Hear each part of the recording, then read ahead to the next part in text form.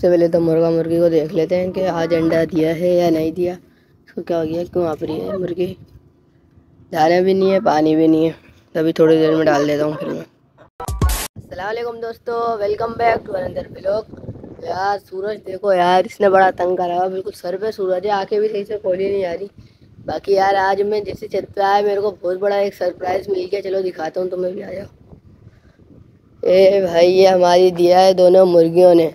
क्योंकि देखो, इसकी रस्सी बांधी हुई थी, इसकी भी रस्सी खोल दी हमने। ये वाली मुर्गी की और ये वाली मुर्गी की भी रस्सी खोल दी। अब देखो, लड़ाई भी नहीं कर रही दोनों। और एक सरप्राइज़ और है, वो भी बताता हूँ आपको। अच्छा हो गया, दोनों मुर्गियाँ आपस में खुली हुई हैं। भाई, लड़ाई भी नहीं कर रही है, देखो। दोपहर का टाइम है ना, गर्मी वर्मी लग रही होगी। बाकी अच्छा हो गया। और यार, जो दूसरा सरप्राइज़ है ना, वो अपन मुर्गी से पूछ लेते हैं, क्या कह रही है। हाँ भाई, मुर्गी, क्या सरप्राइज़ है, बता दो यार। अबे, रुक जाना, अभी पर कुछ आ रही हूँ मैं। अच्छा अब तो खुजाली है पर अब तो बता दो। क्यों बता रही है या नहीं बता रही?